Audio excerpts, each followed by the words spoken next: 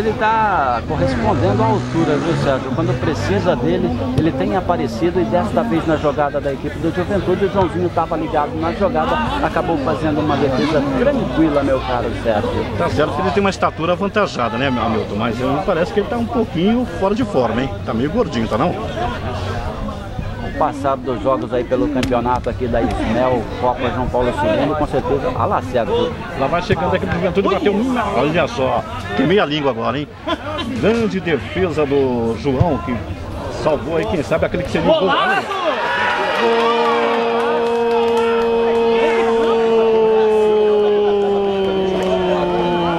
da equipe do Juventude. Depois de uma grande defesa do João, uma bola que veio